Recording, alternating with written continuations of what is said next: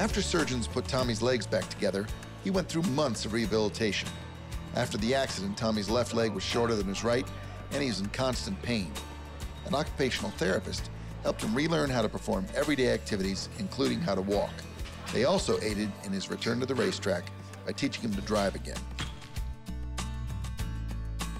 You have to treat your body um, like a professional athlete, basically. You're training not for your profession, but for your independence. I, tell my patients all the time, the, the level of your physical fitness is directly proportional to how independent you're going to be out in the real world. You have to stay strong, you have to keep your weight down, you have to eat right, all that stuff, because if you don't, you're going to pay for it down the road. So you start with building blocks. You have to get the leg strength first, and then you work on the more functional things of actually standing and then walking.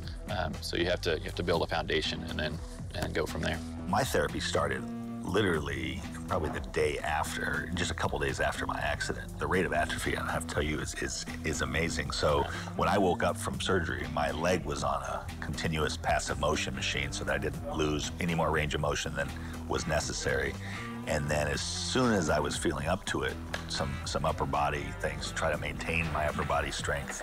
Um, and even doing that, it just, it, I was in the best shape of my life. And a month later, I could hardly do anything. It, the, the patients that have the, the goal, like, this is where I want to get, those are the patients that we see so much progress because they're so determined.